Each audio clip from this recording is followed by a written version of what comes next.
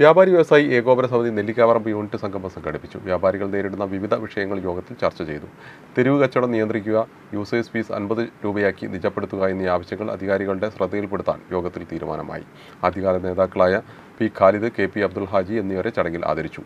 Unit president M T അഷ്റഫിന്റെ അധ്യക്ഷതയിൽ ചേർന്ന സംഘവും നിയോജകമണ്ഡലം വർക്കിംഗ് പ്രസിഡന്റ് ജിൽസ് പെരിഞ്ചേരി ഉദ്ഘാടനം ചെയ്തു. നിയോജകമണ്ഡലം treasurer M T Abdussalam general secretary Sunoj N P Shankaran Basheer തുടങ്ങിയവർ സംസാരിച്ചു.